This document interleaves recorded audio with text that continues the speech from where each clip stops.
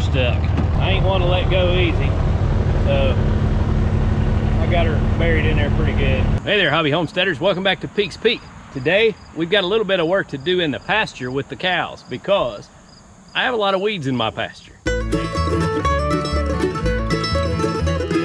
This year has been a really wet year and so the weeds have just grown like crazy. I've got weeds out here that are six foot tall. I don't want to let those weeds run that tall and risk getting pink eye in my cattle. So I'm going to take the rotary cutter. We've got the Land Pride RCR 1248 rotary cutter. And what I'm actually going to do is leave this raised up off the ground as high as I can raise it and just go through and knock down all the tall weeds. It'll make the pasture look better and it will kind of help from keeping our cattle run around in six foot tall weeds. There's a lot of good grass in here, but it's kind of, you know, being overpowered by the weeds. And so we're gonna get that taken care of. Before we do any kind of cutting with the rotary cutter, we like to kind of go over it and make sure everything is all up into condition. So the, the first thing we did was check our gearbox oil level and of course, that's super simple. You've got just a little plug on the side. And actually my dealer, when they set it up, they wrote check in a paint pen and marked the plug that you pull out the side. And you fill it from the top, you take that vent off, you fill it from the top until it runs out of that side check plug. So super easy to keep fluid in your gearbox. And actually, before I was doing YouTube, on one of my very first uses of this rotary cutter, I apparently wrapped something around up above the stump jumper and it popped that seal out, which is like an O-ring plate. Um, there's a, a, snap ring that holds that in and it popped that snap ring out and the O-ring plate fell out. All of my fluid leaked out of my gearbox and I noticed it whining and so I stopped to check it and sure enough. So it's good to keep an eye because you never know what's gonna happen. You wanna listen to your equipment and you wanna make sure you check your fluid. We got the gearbox topped off and then we went ahead and greased the U-joints and the back wheel on it. Uh, not a whole lot to maintain in a bush hog, but we want to try to take care of it and get as long of a life out of it as we can. So I am down to my last bit of diesel fuel. So I'm gonna have to go back to the station that sells red diesel and uh, fill up my cans, but I've got a half a tank of fuel. I think I can get this knocked out and that easy enough. So we're gonna go ahead and get to work.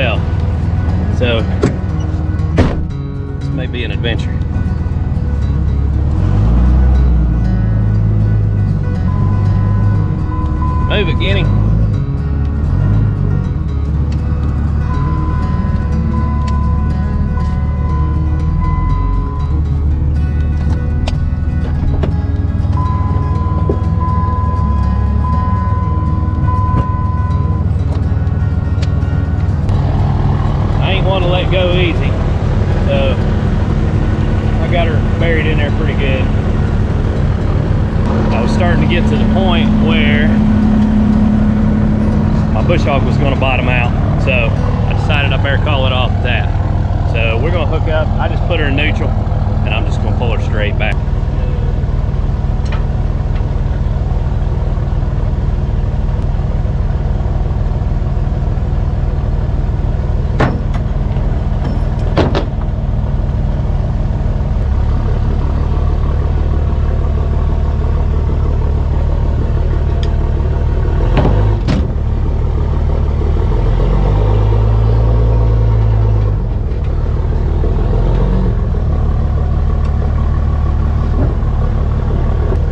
And we're back in business.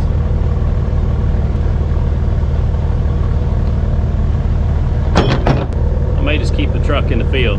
We got a pretty muddy mess back there, so.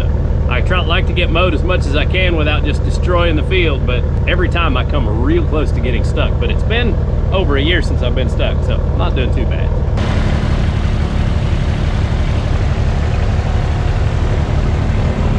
All right, let's get back to it before we run out of fuel.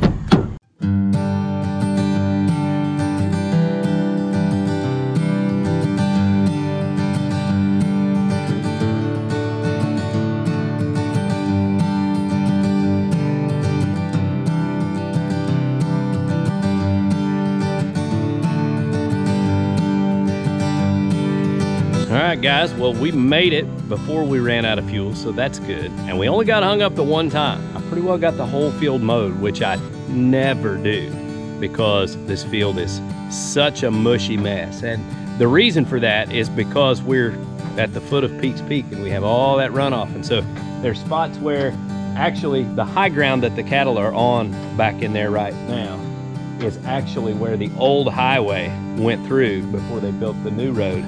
And that ground is up higher, and then there's a, a low spot right next to where the old road used to drop off. And that all fills with water, and the drainage is just not good. Now, I cut a little ditch through there to try and help some of that drainage, and it, it did help a little bit because when I first moved here, you couldn't do anything in any of it. You could never drive around in any of that section over there. So it's come a long way, but it's still not exactly where I want it to be yet. If only I knew somebody with a backhoe that could do some like digging and drainage work and stuff.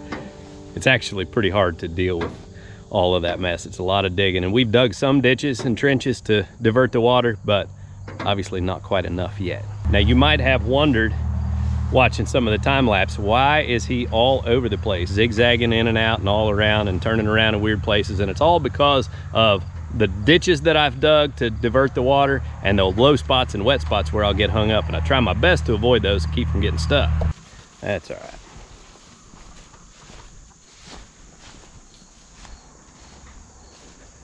They're growing good.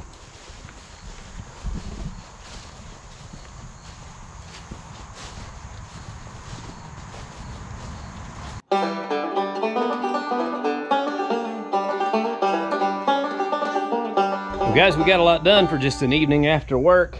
Uh, got the bush hog all kind of greased up and serviced, and uh, we were able to get the field mowed, which was nice.